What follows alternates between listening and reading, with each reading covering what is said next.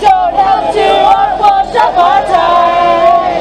You gotta talk it through, and then you gotta live it up. Cause if you believe in Palestinian human rights, you gotta show support.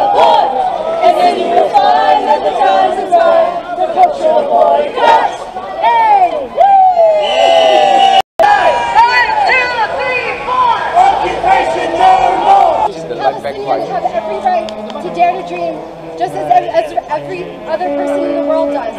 And just because Palestinians are told that they cannot do so by the Israeli government does not mean we should not stand in solidarity with their indigenous call to boycott, divestment, and sanction Israel until it complies with international law.